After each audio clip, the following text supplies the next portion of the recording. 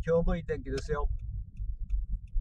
えー道端を見るとクローバーの花でしょうね、花でしょうね、クローバーの花が咲いてるし。もう新緑というよりも、もう新緑の若葉の色もちょっと落ち着いたかなっていう感じもしますね。これから色がだんだん濃くなってくるのかもしれません。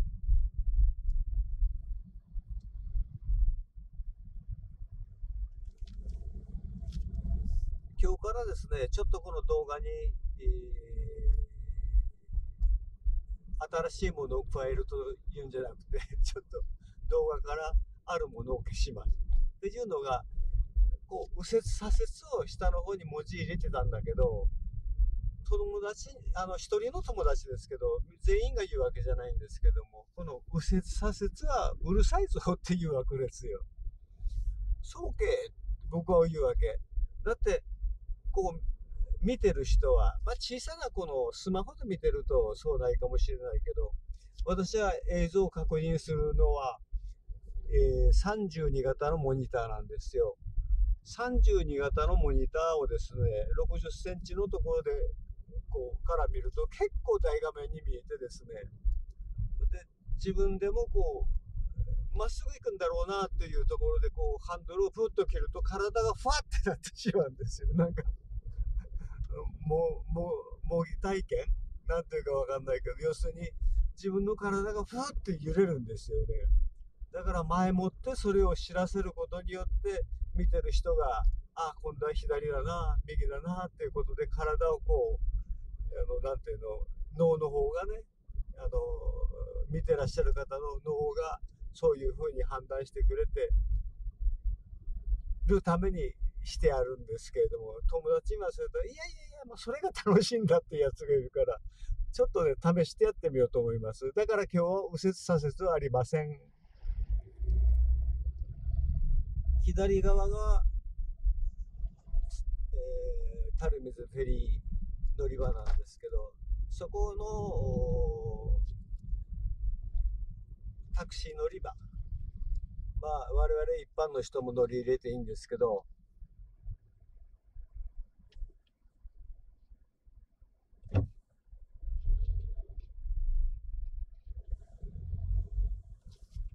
そこをぐるっと回りますね。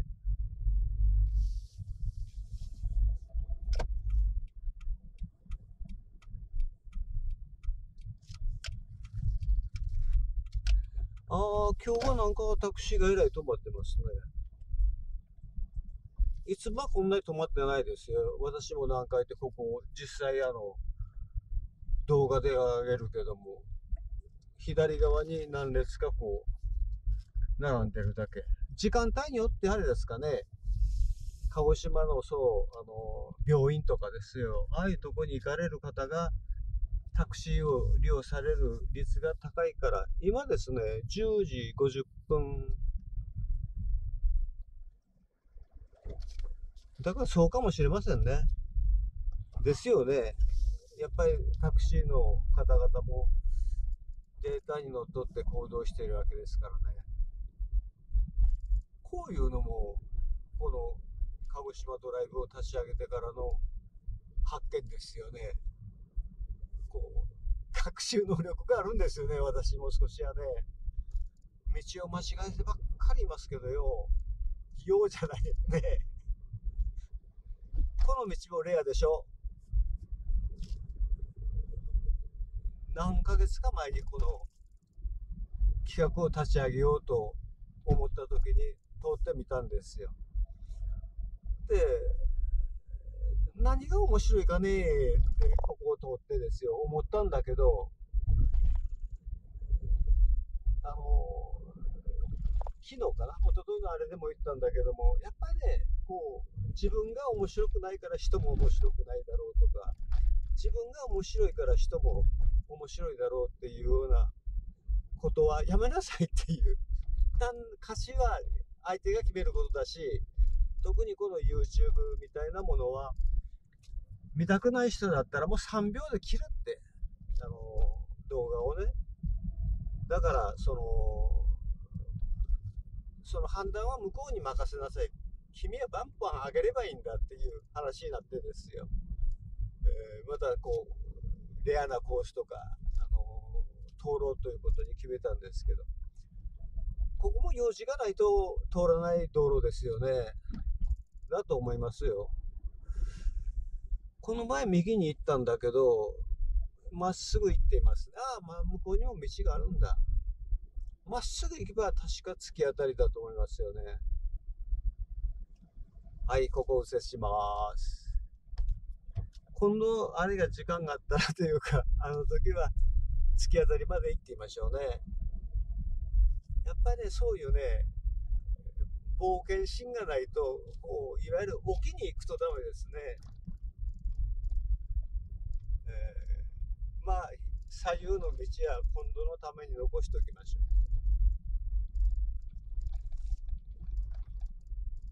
あと、あそこの最終目的地は、今日の場合は、マリンポート鹿児島で決めているんですけど、やっぱりそこに行く最短距離で行くのも面白いかもしれんけど、まあ、寄り道しながらね、行くのもいいんじゃないかなと思います。ここは左折ですね。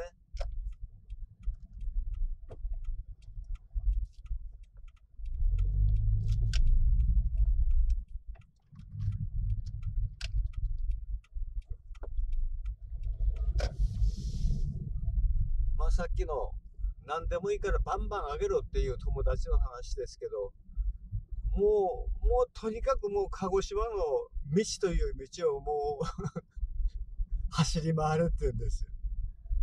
うん。ですよね、考えてみりゃね。ですよねっていうのは、じ今、あのー、コメントが来るんです。YouTube のこの動画に一つに、一個に一個も来ませんけどね。えー、今60ぐらい上げてるけど、そのうちの10ぐらいに来たのかな？ありがたいことに。それでその方に大体こう、あの、いわゆる独り言みたいにこう書いてくださった方にはこう、あの、ただこう反応ししたらいけないかなと思いながら遠慮してるんですけど、なんか問いかけみたいなところとか、あの、良かったっていうことところにのコメントにはあの対応してるんですけど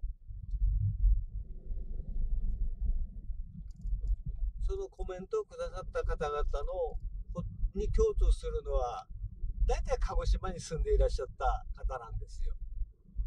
ですからそういう人なんかが自分がこう通った道とかよく知っている道路とかっていうのが出てくるとやっぱり嬉しいみたいで。私もほら今声でわかると思うけど。やっぱりそういう反応をこう、まあ、聞くっていうか、まあ、見るわけですけどすると嬉しいわけですよね。だからこういうところもねもしかするとその人があの営業でこの辺を回ったかもしれないし会社がそこにあったかもしれないということもありますからね。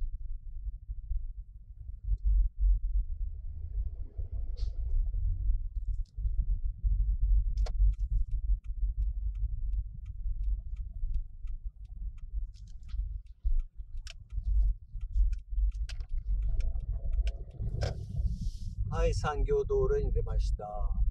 ここもうすぐ左側に行けばマリンポと鹿児島なんですけど右に行きますね。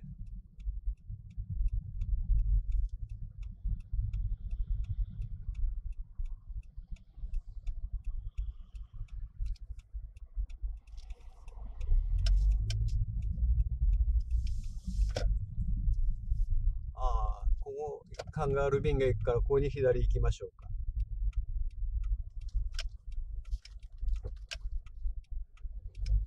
こういう今、コースを取ったのはですね、私の友達で昔、あの、鹿児島で営業もやってた人間がいて、で、どこだっけあれ、卸本町？あの辺をぐるぐる回ってくれっていうのがいるもんですから、今それを思い出してですね、この辺は昔は、あの、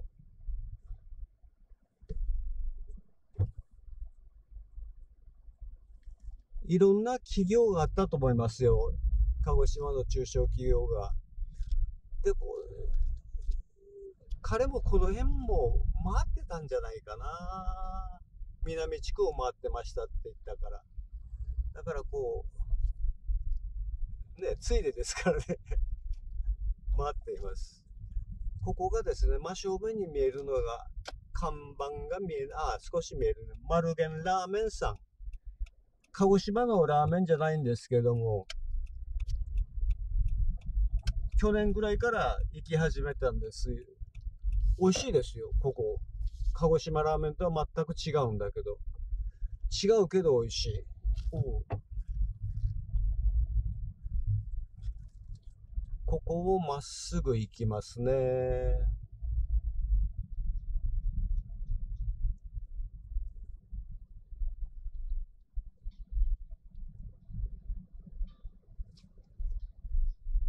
こうしてみると、車で行けばパーって行くけども、遊ぶところも結構あるんですね。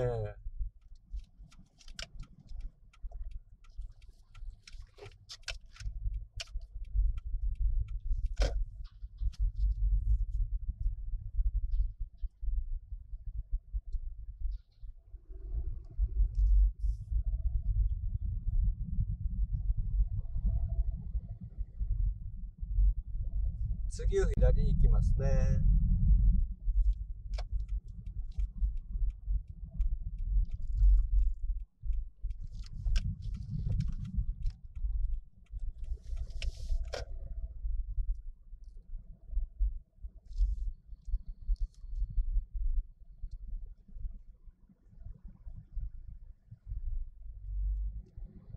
赤信号が続くとなんかな、な、次何喋ろうかなっていうふうに考えてるとなんか逆にテンションが下がってしまいますね。ここまっすぐ行きましょう。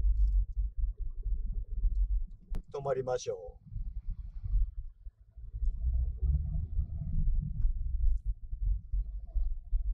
この左側はですね、南港って言って、あの、長渕剛がいる、あれ、あそこは南高校ですけど、港なんですよ。だけどちょっとね、見れなかったですね。高い位置から見ると、あれが、港が見えるんですけど、ここが、えー、三隅、ブックス三隅の裏側ですね。オプシア三隅ってなってますね、今は。ここの信号を左に行くと、マリンポート鹿児島ですけど、まっすぐ行きます。というのはですね、友達、何人かの友達が、えー、橋からのあの桜島の眺めがあのすごくいいっていうことで、港、港なんとか大橋、すいませんで、覚えてません。なんとか大橋っていう、そう、この左側に見え見えるかな。見えるかな。これぐらいかな。の橋があるんですけど、あそこを越えて、えー、降り、越えるときに桜島が見えるのがいいよねっていう話をもらったものを思い出したもんですから、向こう側から行きます。ただ、今日は、まあ分かる人は分かると思うけど、ちょっと霞んでるんですよ、全体的にね。なんだけども、これもね、春の4月の頃の桜島、鹿児島っていうことで、おぼろに霞む桜島もいいんじゃないかなと思います。まあ、雨上がりのね、梅雨の合間の、バチーンってこう、あの輪郭がはっきりした桜島もいいんですけども、今日のようなのもいいと思いますよ。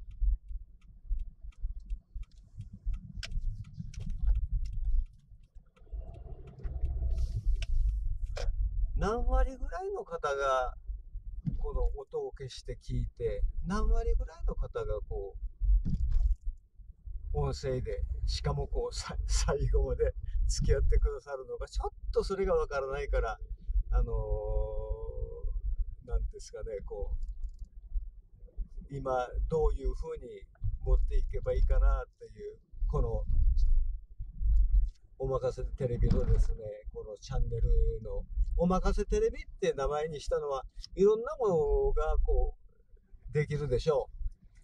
撮影の仕方も含めてですね。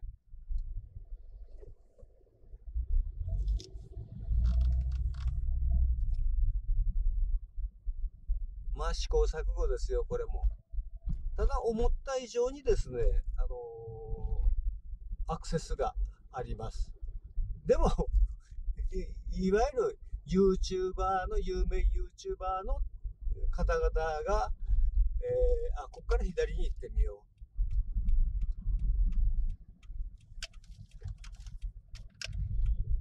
いわゆるその YouTuber としていくらかいただいていますっていう YouTuber に比べればもう、もうほんの顕微鏡で見らんなわからんぐらいなんですけどね、それが楽しいんですよ。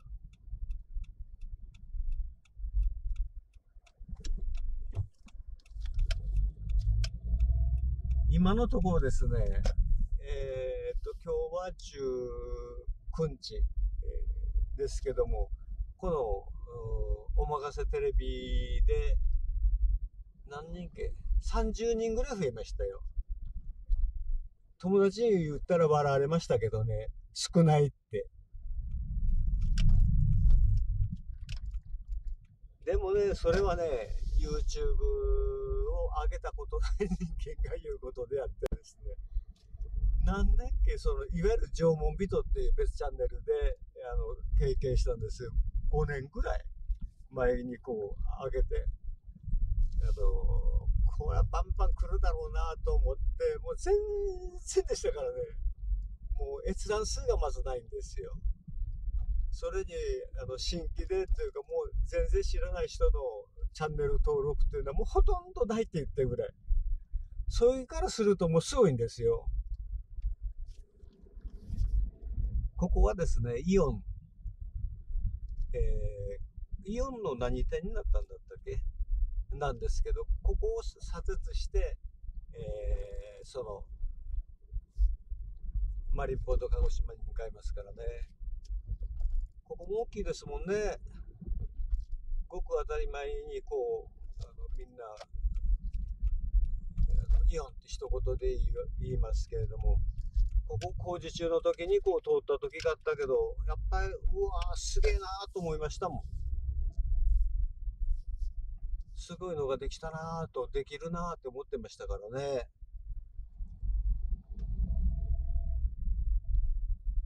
こういうところのまあ、駐車場をこう一周するのもいいかもしれんですね。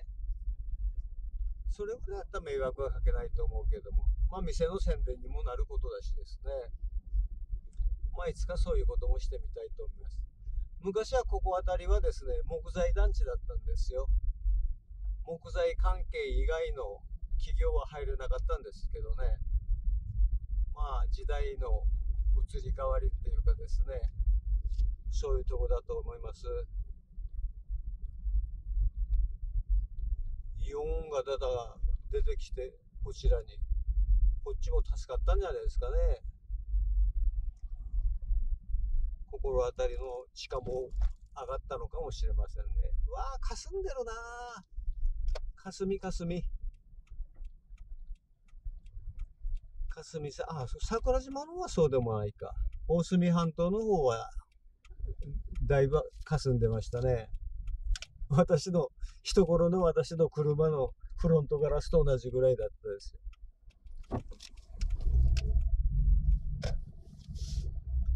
カメラを右の方に振ります。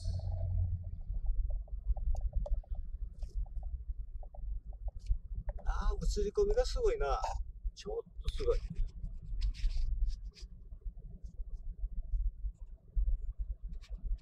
このね、YouTube やってるとね、いろんなこと気づきますよ。この映り込み問題、自分の手が映ってたりですよ。なんかここの YouTuber の方、いろんな工夫していらっしゃるんだろうなと思いますが。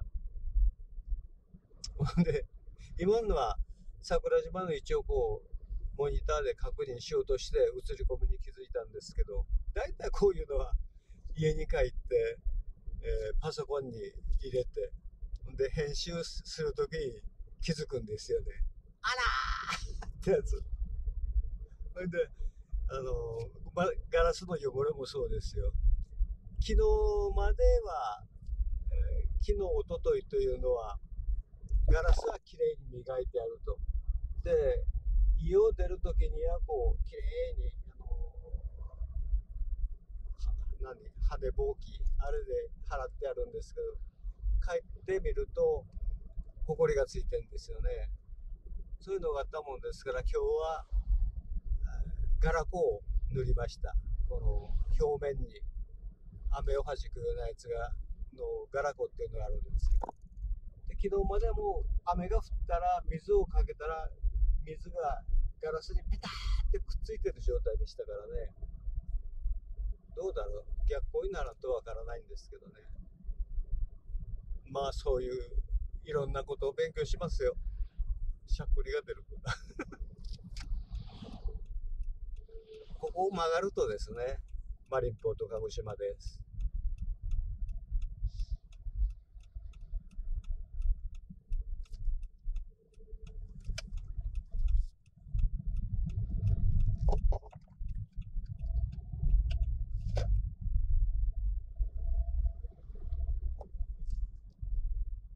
話変わりますけど、クルーズ船は、このコロナが来る前は年間に120隻ぐらい来てたんですよ。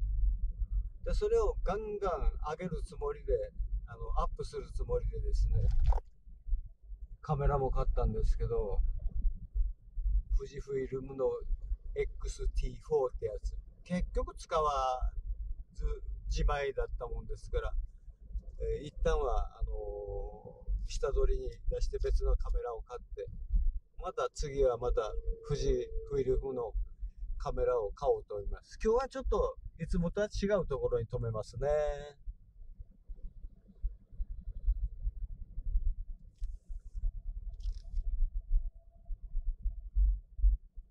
一旦は一番奥まで行こうかな。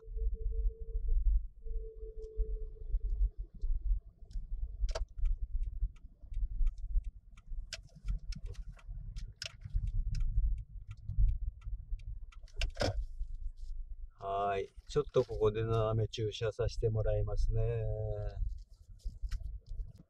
20秒間。はーい。どうもありがとうございました。